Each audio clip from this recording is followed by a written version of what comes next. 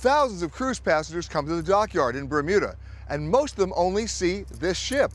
But if they're cool, they'll come a few feet away and they'll know about this boat. That's because this boat belongs to Greg Hartley, a local Bermudian who has inherited an unusual family business helmet diving. My father came here from Brooklyn, New York in 1930 at age 10, and he had similar misconceptions that other people have about tropical Bermuda, which is not tropical. And he saw not parrots, but parrotfish, and not leopards, but leopard rays, and built his first diving helmet at age 10 and played with it all during his youth. And then after the war in 47, started doing this. Greg's father's invention is still used today and makes it possible for anyone to see Bermuda's reefs firsthand.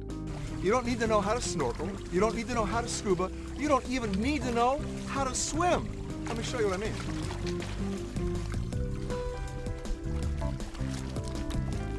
And get this, after years of diving in the same locations, Greg has built a special relationship with the local fish. So you're not just watching, you're interacting. You actually think I'm going to make a friend with a fish today? You are going to introduce with one. Uh, the only way you can make friends with it is you feed it. Sort of like dating. Yeah, yeah, you got to give them what they want. Believe me, this is a first date you won't soon forget. I'm Peter Greenberg, and thanks for watching.